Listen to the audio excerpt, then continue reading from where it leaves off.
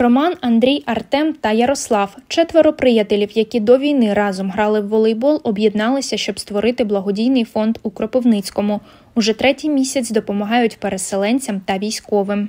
У нас дуже був багатий нетворкінг до війни, е, бізнесовий, бізнесовий ком'юніті. Потім, вже в процесі того, як ми починали це все робити, у нас з'явилися знайомі в ЮНІСЕФ, е, в інших гуманітарних фондах, штабах. Тобто, це і набуті друзі, і друзі, які були до цього.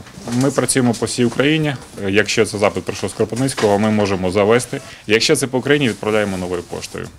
У центрі переселенці можуть отримати продукти харчування, одяг, взуття, засоби гігієни.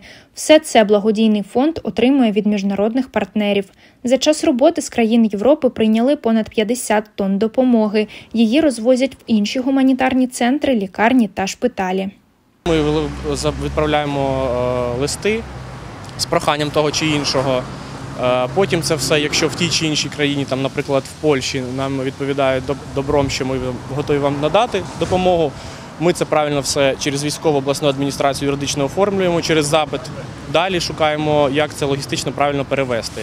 Якщо це в якихось великих масштабах, е, там 10 тонн, 15, 20, ми або догружаємося до когось. Учасники фонду одними із перших поїхали з гуманітарним вантажем в деокуповані міста й села на Київщині та Чернігівщині. На власні очі побачили наслідки російської окупації. кажуть, після цього бажання допомагати тільки виросло. Сюди приходив русський. Волонтери допомагають військовою амуніцією та технікою. Усі актуальні потреби фонду та звіти можна знайти на їх сайті. Тут можна і перерахувати гроші, які підуть на потреби військових та переселенців.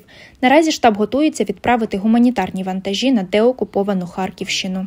Анна Гончаренко, Сергій Баранюк, телевізійні новини СІБІН.